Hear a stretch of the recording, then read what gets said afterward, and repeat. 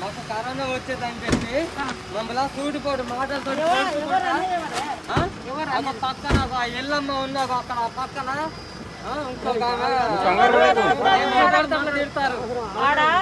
Home minister వచ్చింది మన ముఖ్యమంత్రికి మమ్మల్ని తల్లి మమ్మల్ని చంపుతామంటారు వాళ్ళు ఎప్పుడు చంపేస్తారు పిల్లలు వేసుకొని మేము ఇంట్లో ఉంటాను.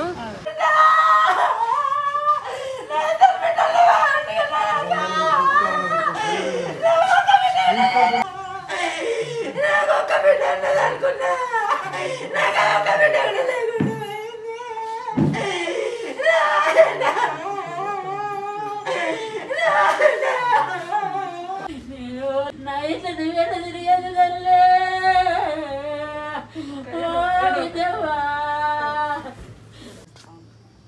నీ భార్య కూడా జాగ్రత్త ఎందుకంటే ప్రెగ్నెంట్ లేడు కాబట్టి కంపల్సరీ నువ్వు జాగ్రత్తగా ఉండాలి. అవసరం అయితే పక్కింట్లోనే ఉంచు కానీ ఉంచి వండి పెట్టుమాను వాళ్ళ వేడి నీళ్ళు తాగాలి నిమ్మకాయ నీళ్ళు తాగదు ధైర్యంగా ఉండదు కడుపు నిండా అన్నం తినండి.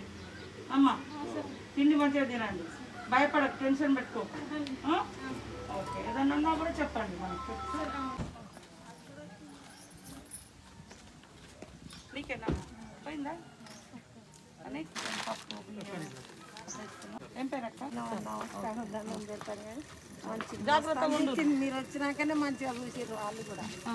కుమార సాయికి వచ్చింది చల్లగా నలుగురికి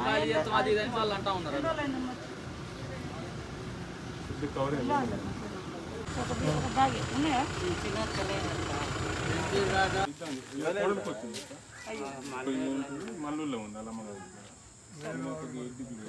మంచిగా చూసుకోండి ముసలి పెద్ద మనుషులు మంచిగా చూసుకో ఆ?